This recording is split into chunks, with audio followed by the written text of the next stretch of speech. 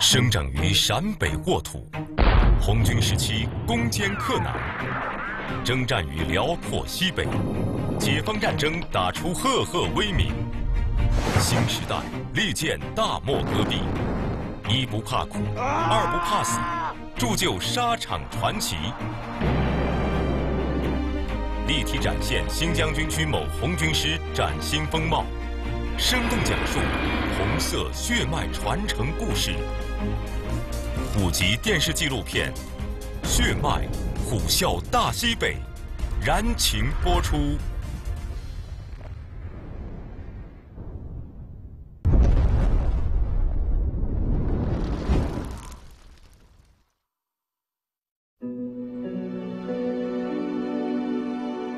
初冬，训练场上覆盖了一层薄薄的白雪。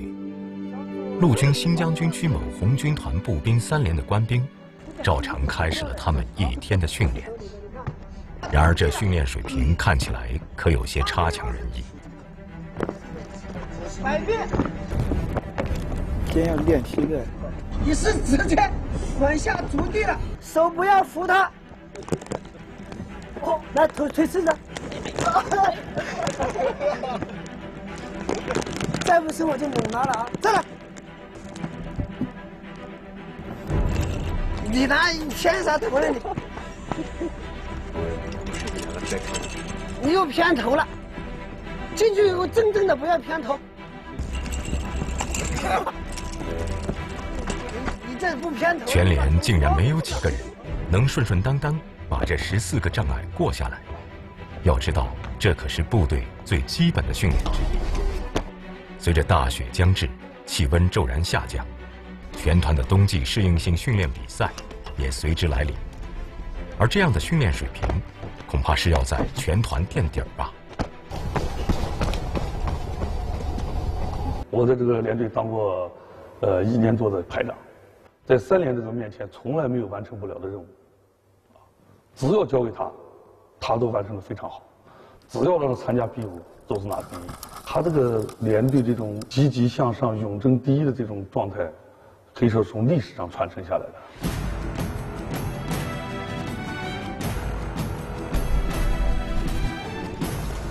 陆军新疆军区某红军团猛虎三连，是一支历史悠久的红军连队，先后参加过陕甘宁边区保卫战、扶梅战役。兰州战役等大小战斗八百三十余次。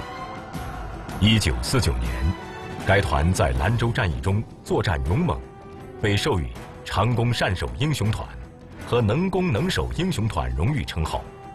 步兵三连也被授予了“攻如猛虎英雄连队”。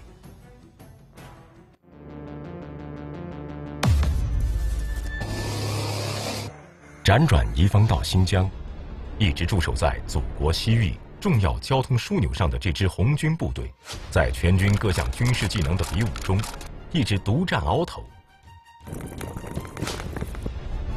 而眼前我们看到的，却是连四百米障碍都频频出错的连队。这样的训练水平，何谈打赢？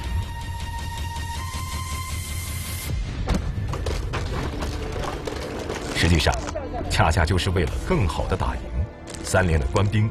才表现出了不尽人意的训练水平，保证我们落地以后的这个速度不能减。如果是我们两个人并排着跑的话，同时下桥端，你从这个侧面下，它的速度就降下来了，然后你要需要一个再加速。此时战士们驾轻就熟的四百米障碍场显得有些陌生。因为本来比较容易通过的独木桥，在连长孙洪江的要求下，提高了训练难度。比较难掌握节奏的，就是从原来的侧面下桥，改成了桥头下桥。这一改，大大提高了训练强度。不要这样子腾空，这样子腾空的话，身体是在飘的。上去以后，主动给力往下走。除此之外。上桥的动作也要求最后一步要腾空跃起，跨上桥面，以减少在桥上的步数。越了身体重心，重心往前走。对，好一点啊。习惯性的动作调整了，出错在所难免。而按照提高强度的方法训练，一旦训练成型，三连官兵过障碍的速度，又将是一次新的突飞猛进。这是两名队员同时上独木桥后的表现。很明显，按照创新训练方法的队员，到达高板墙的时间要快得多。以前我们力量好的时候，硬是踩在这个地方，然后速度往前加行。到障碍跟前之后，你必须要做到这个加速，然后借助一定的惯性和一定冲击力，你可以更好的完成动作。训练动作的调整是为了更好的加速，不单单是过独木桥，十四个障碍，每一个都有提高强度的训法。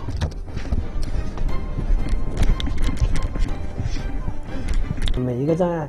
快一点，我们如果十四个障碍物加起来，它就快了很多。为了备战团里的冬季适应性训练比赛，整个三连都在加紧练习。一年兵黎秋林也不例外，他也想入选参赛队员。由于全连只有十二个参赛名额，黎秋林作为一名新兵，入伍时间短，训练水平自然没法跟老兵相比。要想获得一席之地，难度。确实有点大。你就是那种表演型的甩太高。李秋玲入伍之前喜欢跳街舞，爆发力好，很多高难度的动作她都能轻松完成，这也为四百米障碍训练科目奠定了一定的基础。但是，差距依然很大。爬的不错啊。嗯，再来一遍，这里刚表扬一下你就不行了。啊，准备，走。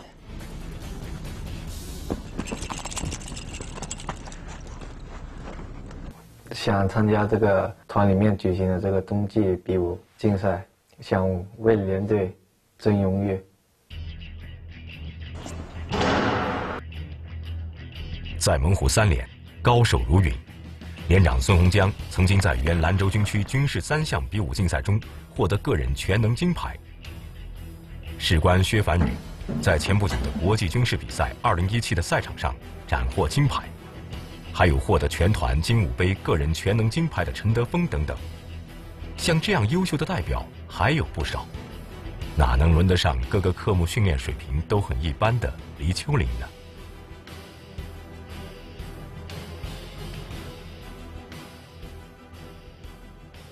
宣防宇班长，他在参加集训，而且还是国际比武。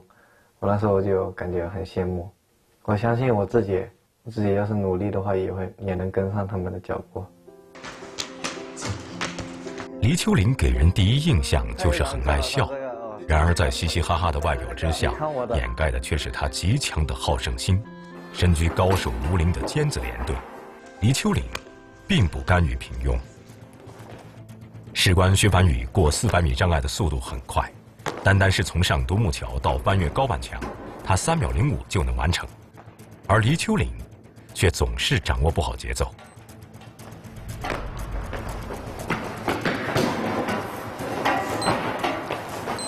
三秒九五，虽已下定决心去放手一搏，但是黎秋林没有想到的是，瓶颈来的却如此之快。已经四百了，停吧停吧，已经越练越慢了。你这样训练不行，你看一下你的脚是不是肿了？实际上，反复训练这样的着陆动作是十分危险的，因为黎秋林的脚踝承受能力还不够强大，硬要练习，很容易出现训练伤。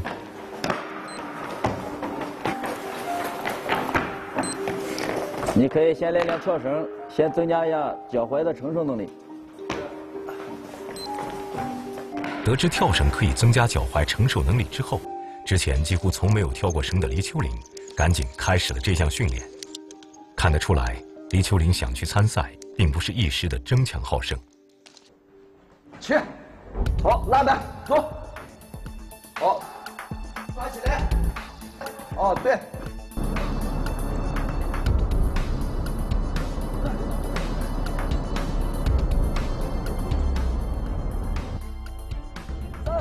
连队组织的400米障碍接力赛开始了，黎秋岭担任一班的最后一棒。前五，进，跑步走。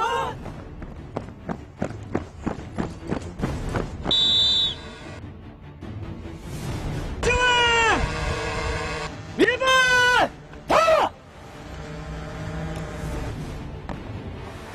掌握了新技巧的官兵们，整体速度都提高了很多，黎秋林也进步不小。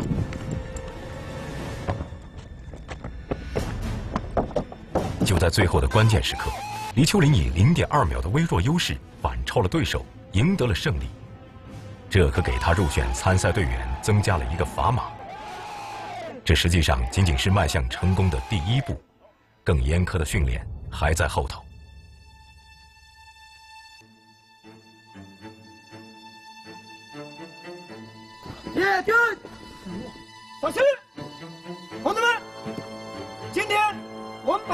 越野的场地选择在沙漠腹地，地形起伏较大，目的是为了增大训练难度，相信每个班都能发扬攻如猛虎、战无不胜的良本。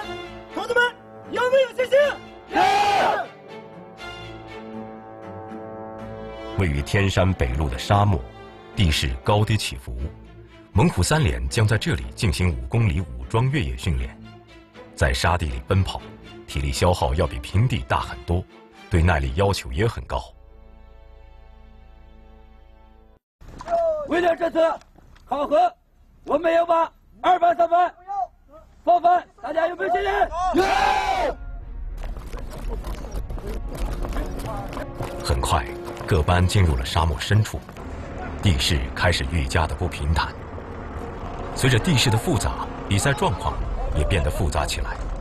黎秋林并没有冲在前面，而是一直跟在队伍的最后面。我感觉跑到两公里的时候，我就已经发现全身用不上力了，感觉腿也迈不开了。上高坡，下沟壑，这比一般的五公里武装越野要难得多。跑出三公里后，别说赶超别人，就连跟上队伍，黎秋林都做不到了。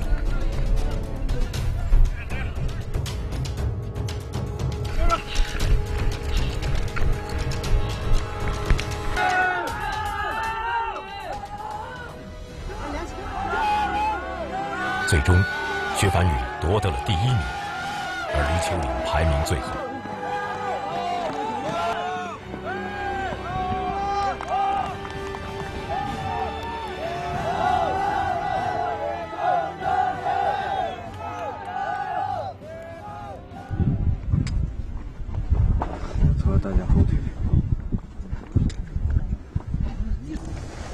有啥压力？在平时在训练，那就扎实的在训练。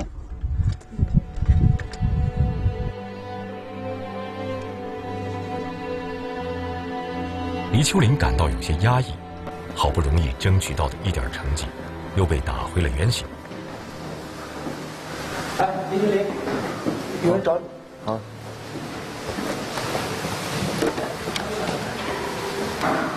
喂。啊，三姐。嗯。电话那头是黎秋林的三姐，他们已经很久没有联系过了。姐弟俩说了什么？我们不得而知，但是电话过后，黎秋林的眼眶有些发红。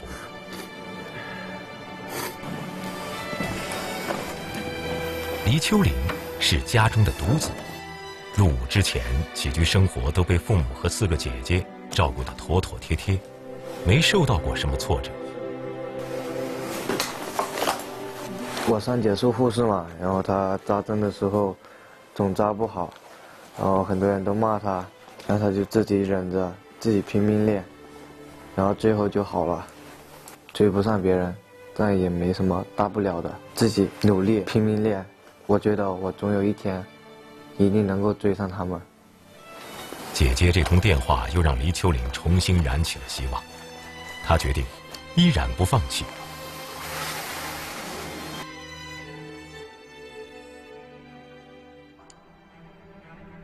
左右间隔两米训练再次开始连长孙洪江一直强调跑步全靠腿当家要想跑得快就要先把腿部力量练好。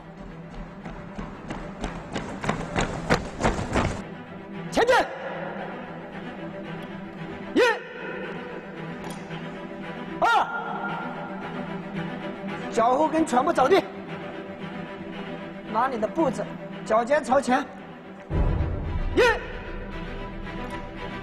扛着五十公斤的杠铃，黎秋林一步步艰难地挪动着。这沉重的脚步扎得越深，来日取胜的希望也就越大。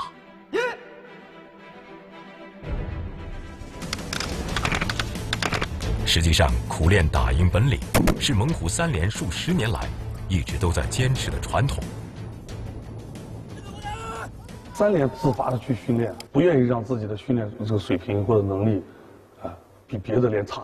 当时师里面要举行这个连队的比武，那么这个连队当时要代表团里面去上场，跟连队组织了一次五公里测试，跑到终点以后，至少有三名同志吐血，他仍然是按照自己最快、最拼命的那种状态去跑。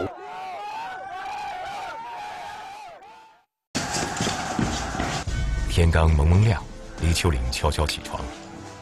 他要赶在大家出操之前，先练上一个五公里。偌大的操场上，只有黎秋林孤身一人，但一颗执着于训练的火热之心，似乎让这个冰冷的训练场升温了不少。他接触训练的时间短，但是只要他自己有一颗上进的心，一直坚持下去。都能够达到一定的成水平。为了尽快提高自己的训练成绩，黎秋林决定给自己加码。其他人都在全副武装奔袭的时候，他还要再背上三支枪。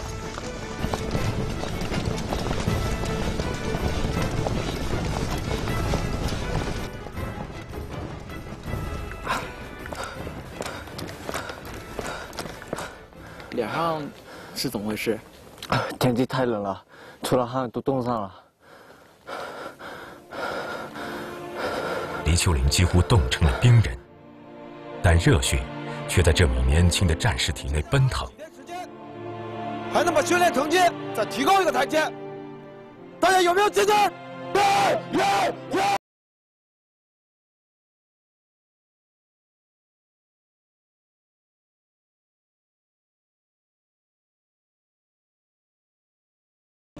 虎三连的每一名成员，始终都以战无不胜、攻如猛虎为己任。一百米精度射击训练，并不会因为恶劣的天气而停止。与此同时，八十斤的轮胎、两百斤的原木，也准备就绪。将它们运送到指定位置后，方能开始射击。这些内容，然后目的就是要让每一个人在这个体力消耗相对较大。然后这个心率较快的情况下，呃，完成射击，然后提高这个抗干扰的能力，这也是为了下一步这个实战化训练打一些训练基础。寒冷的天气会造成身体僵硬，导致控制力不稳，脱靶很常见。跑的时候，你这个要啊注意这个体能的分配啊，你要打射击的时候。你不能这个呼吸很乱啊，这个节奏一样啊，控制好啊。是是。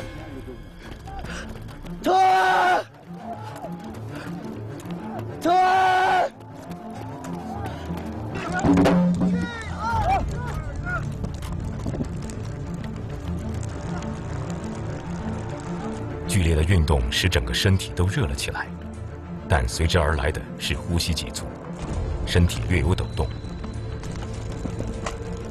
最先到达射击地域的黎秋林，迟迟没有扣动扳机。那打射击的时候还下着雪，对我们打射击有这个有很大的影响。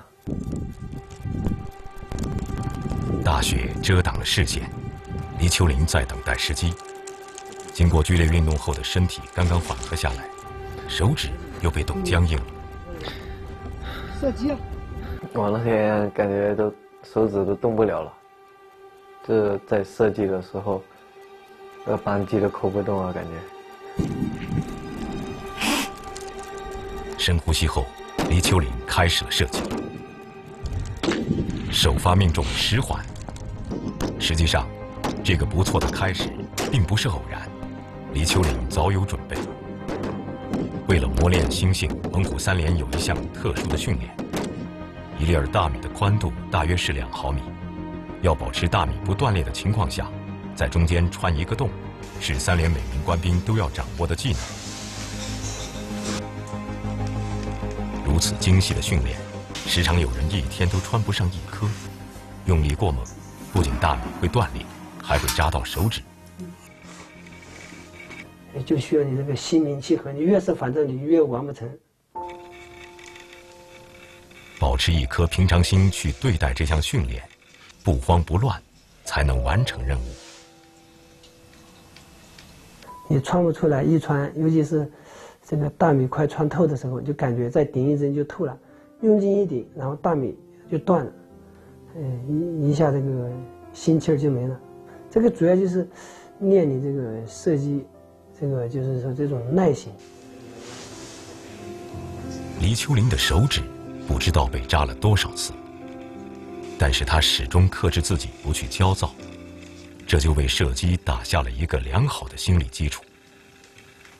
除此之外，为了克服寒冷，黎秋林趴在地上，头顶被班长放了一杯水，满满的水杯，稍有晃动，水就会溢出。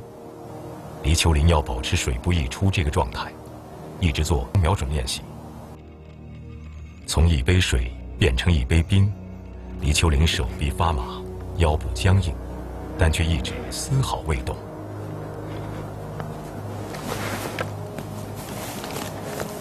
这个还算坚持的不错。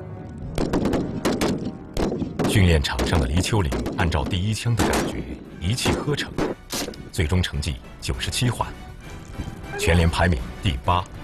相信只要一直保持这样的成绩，代表全连去参赛。指日可待。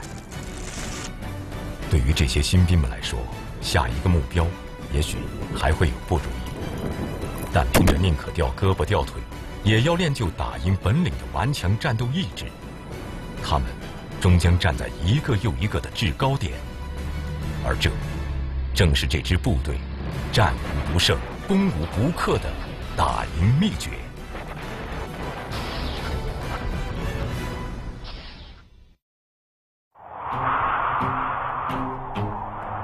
生长于陕北沃土，红军时期攻坚克难，征战于辽阔西北，解放战争打出赫赫威名。新时代力荐大漠戈壁，一不怕苦，二不怕死，铸就沙场传奇。立体展现新疆军区某红军师崭新风貌，生动讲述红色血脉传承故事。五集电视纪录片《血脉虎啸大西北》，燃情播出。